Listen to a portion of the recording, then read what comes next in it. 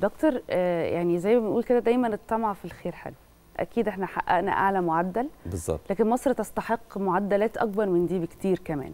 طبعا. نظرا لكم أنواع السياحة المتنوعة اللي موجودة في مصر الجو وكل العوامل والخصائص الطبيعية اللي ربنا حباها بيها. سؤالي لحضرتك آه، مش للتقليل من هذا الإنجاز ولكن للبناء عليه فيما مهم. بعد. إيه اللي ينقص مصر عشان تقدر حتى تتخطى هذا الرقم بمعدلات أكبر بكتير؟ وخاصة إن السياحة مش مرتبطة فقط بس بالترويج خاصة إحنا في عصر ال social media مواقع التواصل الاجتماعي بقى فيه جملة أو مصطلح reviews آه. الآراء مم. لازم التجربة اللي بيجي يعيشها السايح لازم تكون من أفضل ما يكون لأنه بيرجع سفير لينا بره في بلده بالظبط فلازم تكون وكمان تعادل ال- التقدم والتكنولوجيا اللي موجودة في بلاد أخرى ممكن تكون ما عندهاش حقيقي ربع الخصائص اللي موجودة في مصر. إزاي نقدر نعمل ده ونبني على ده؟ آه، الحقيقة طبعا هي الدولة ماشية بالطريقة السليمة. دلوقتي حصل اختلاف كلي في أساليب الدعاية والإعلان والتطوير والتكنولوجيا والتقنيات. آه، في اولا المعارض ثانيا على ال social media.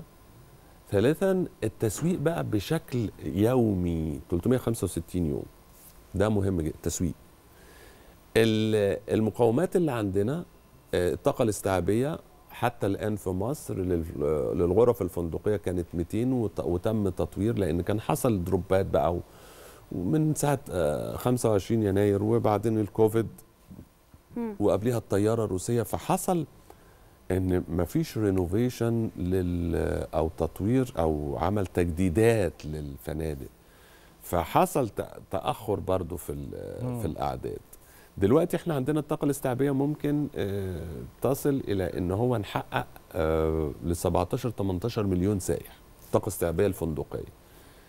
آم، التسهيلات موجودة بس عايزين بقى الطاقة الاستيعابية للفنادق تصل إلى نص مليون عشان نصل ل 30 مليون سائح. بمطو... ده ال 30 مليون سائح يعني إحنا لما نبص لل 19 14 مليون و900 مليون سائح آه الاحصاءات بتقول إن الدخل من آه منهم وصل إلى 14 مليار و400 مليون دولار غير متوسط إنفاق السائح.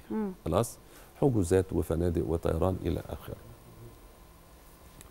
إحنا محتاجين المرحلة آه، تقديم تسهيلات لازم الميكنة والرقمنة يبقى كله كمبيوتر مم. ما تدخلش الإجراءات بالنسبة للمستثمر manual يعني manual دي. بالموظفين ده بيأخر حاجات كتيرة قوي خلاص؟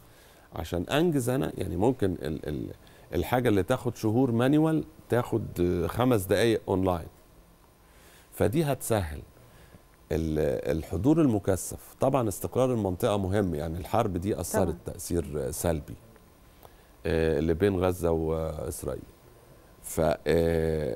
فالناس منتظرة الاستقرار. في حجوزات وفي ناس بتيجي وفاصلين مصر عن الكذا بس برضو مش زي الكثافة اللي كانت موجودة في ال- يعني إحنا كان عندنا overbooking واخد بال حضرتك؟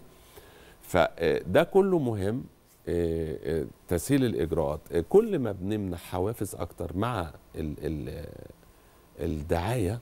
بشكل مكثف. في بورصة جاية بتاعت برلين من 5 ل 7 مارس ال ITB دي أكبر بورصة سياحة في العالم. في بعديها بورصة في دبي وكان في بورصة في أسبانيا وح... وحصل حضور وقبلها بورصة في لندن. ال- البورصة بمعنى مكان لتجمع كل رجال الأعمال والمستثمرين والدولة وخطوط الطيران مع الآخرين. بنقابل بس مش يعني ممكن تقابلي برضو الناس مثلا اللي بتبقى في المدن الساحلية زي اسكندرية وبورسعيد وغيره بيقابلوا ال- رجال الأعمال والشركات بيقابلوا أصحاب أو الممثلين لل Mediterranean cruise الكبيرة قوي دي اللي بتيجي تقف one day مم. مثلا وبعدين ينزلوا يعملوا زيارات لإسكندرية والقاهرة وكده ويقابلوا المركب في بورسعيد أو تنزل في سفاجه ويروحوا الأقصر مم. برضو دي بتبقى بتنشط وبيبقى في في تعاملات وكذا صحيح كل ما كان في تسهيلات وتعاملات أكتر وسهولة في الإجراءات والميكنة مع التسويق بشكل مستمر وإحنا ماشيين على خطى سليمة هنوصل للأعداد دي وأكتر